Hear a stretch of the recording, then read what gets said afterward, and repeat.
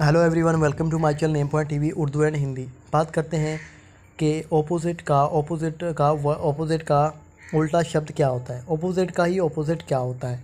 आइए इस वीडियो में हम देख लेते हैं। Opposite O double P O S I T opposite opposite का ही उल्टा क्या होता है? ओपोजिट का उल्टा होता है सेम एस से एम सेम ओपोजिट वर्ल्ड का ओपोजिट ही सेम होता है।